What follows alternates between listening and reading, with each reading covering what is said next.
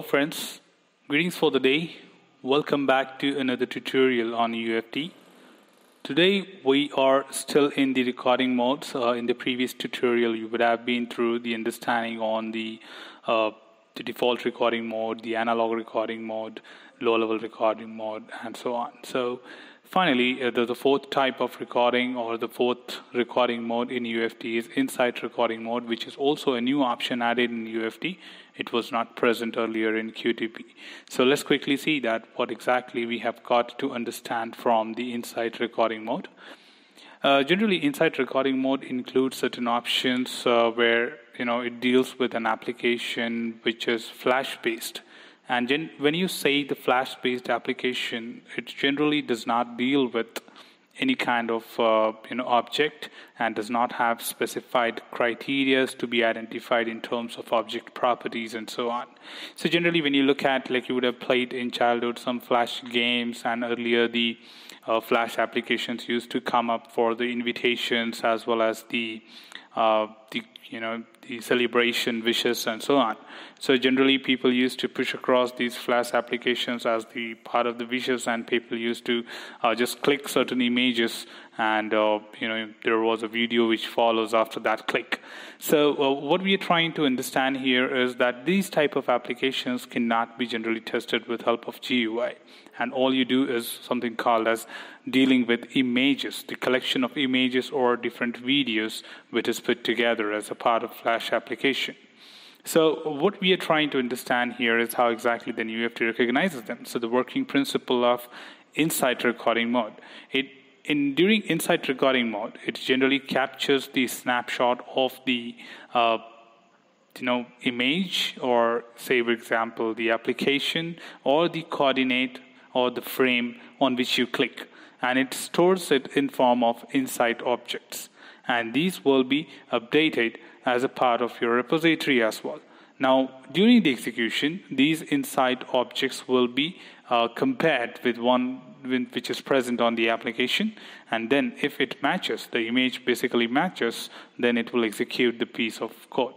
Otherwise, it will just reject stating that this particular insight object does not match or does match multiple objects on the screen. So at any point of time, no matter what you are executing, whether it's GUI or yeah, you know the insight recording mode, it, it, it is important for an automation tool to make sure that there are no conflicts between the objects or the images to make sure that it is unique and it is executed.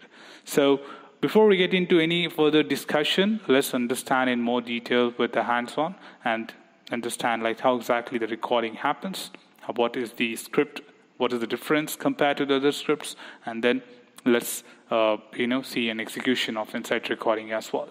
So let's move. So we are here with the uh, you know a new brand new test here to kickstart and understand that how insight recording generally takes place. And for that, I would need an application to demonstrate the same thing. So for this, I'm taking the help of Calculator, which is a Flash-based application, and uh, we will see how exactly the Flash recording happens here. So all you have to do is click on Recording, and uh, just switch to the Insight Recording mode, and uh, start performing the activities what you generally perform. Say, for example, I'm doing certain calculations here, like 2 multiplied by 6 is equal to 12 and maybe a, a bit complex calculation like 89 uh, multiplied by you know 45 and say equal to and then just stop recording so now when you look at the script you can see the difference uh, between the uh, ordinary general default recording mode script and an analog script and you know, a low level script as well as the insight recording. So if you look at the script here right on the screen, it has uh, captured the snapshot of each object what we clicked on.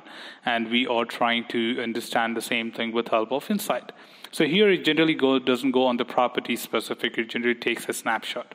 So even if you talk about an application like YouTube, it is a flash-based application, so everything is image there, it's everything is video.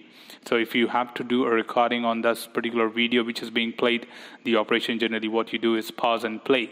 So you click on the video, it pauses, you click on the video again, it plays. So if you want, you can try that as well by you know trying to click on the video. It will take a snapshot of that particular scene or this uh, you know movie scene which you were playing, and then again when the movie scene comes on the screen, it will just click on that to play and pause.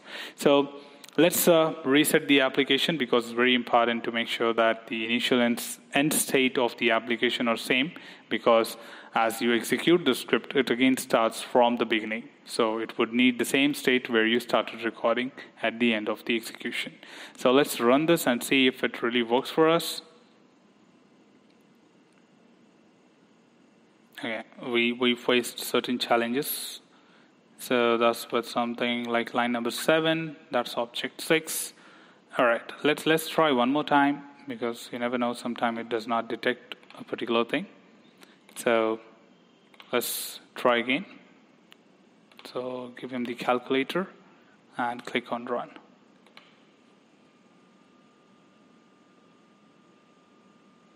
Okay, so we seem like you know there's something wrong with this.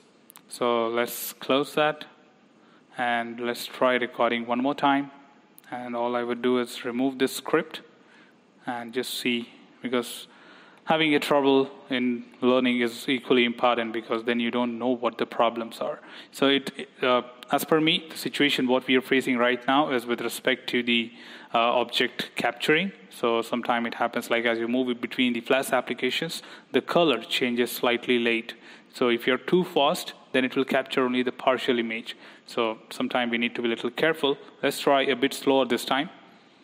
So it's 9 multiplied by 6 is equal to then 23 plus 89.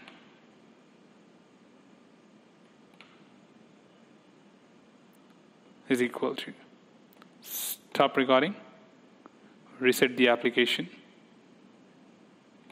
and hopefully this should work now. Let's try again.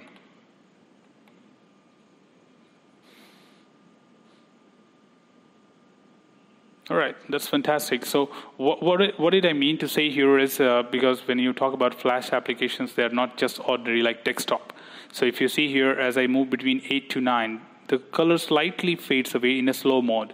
It doesn't immediately moves into that. So sometimes it captures this button partially with this button. So you need to be quite careful when you work with these kind of things. And it is really important to take care of these kind of operations when you're working with Flash-based applications. So anyways, this is what, what we have got as of now for the uh, Flash-based application. Before we move into anything else, uh, we will be looking further in different options and we will be having altogether a different agenda to look forward in the upcoming tutorial. So in case you like the video, please do subscribe to the channel which will help you to understand the UFT in more detail and keep following the tutorials to learn the entire details. We'll be having a lot more things coming up one after the other, so stay tuned. Do like the video, in case you really appreciate it and share it among your friends so that they can also learn it in easy steps. Till then, keep learning, keep exploring, and keep practicing. Happy learning team. Take care.